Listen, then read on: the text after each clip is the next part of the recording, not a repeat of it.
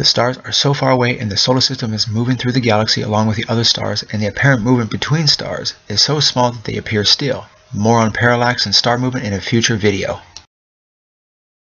For example, the proper motion of Barnard's star corresponds to a relative lateral speed of 90 km a second. The 10.3 seconds of arc it travels annually amounts to a quarter of a degree in a human lifetime, roughly half the angular diameter of a full moon. In layman's terms, Barnard's star, which is about 6 light years from Earth, appears still and in the same position when looking at it in a short period of time. For the purpose of this video, the stars will be considered still as their apparent movement is too little to notice. The star's movement here will be them circling around a central point due to the Earth's rotation. Circular star trails form when a camera is aimed toward Polaris or towards the south celestial pole and the shutter remains open capturing the star's apparent movement. Same concept with lightning photos. Leave the shutter open and any light emitting object will show up in the photo. For example, I took this one minute time exposure capturing numerous lightning bolts. In this example, the shutter is left open for a while. You will notice the star is making a movement around the central area due to the Earth's rotation. This is due to perspective of the observer on a rotating body with a background of relatively still stars. In the northern hemisphere, the stars circle counterclockwise, and in the southern hemisphere, they circle clockwise. This photo is consistent with the rotating globe Earth. When looking north, the star's apparent movement will create a counterclockwise circle around a central point.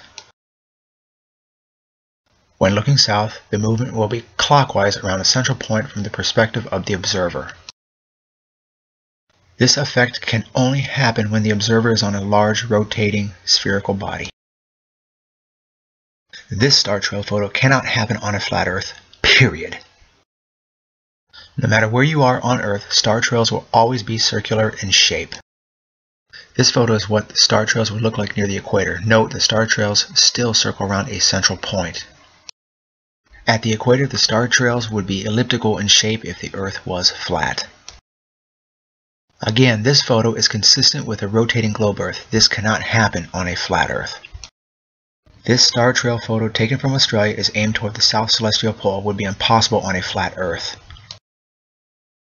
The southern celestial star trail movement alone destroys the flat Earth concept as they are circling around a central point. Circular concentric star trails can only happen on a flat Earth if the observer was under Polaris at the North Pole, otherwise they would be elliptical in shape anywhere else on Earth. Look at this diagram. Which one matches reality?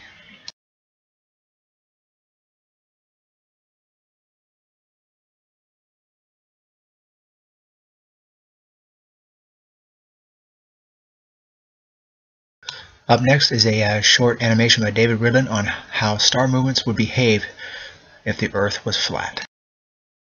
Here is a short video uh, by David Ridlen to show you what the star movement would look like on a flat Earth. As you can see, certain constellations would not be visible, and the stars would not circle clockwise around the south celestial pole. If the Earth was flat, the star trails would take on an elliptical shape the farther away you move from the North Pole, but we don't see this in reality. The globe wins again, folks. I will be doing a small-scale practical demonstration of both flat Earth and globe Earth star trails in an upcoming video.